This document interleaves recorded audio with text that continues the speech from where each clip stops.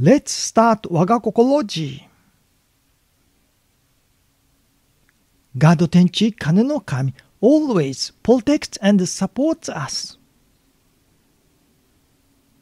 The human protection is limited in time, but the divine protection is of unlimited duration unless we stop relying on God Tenchi Kane no Kami. Thank you for watching.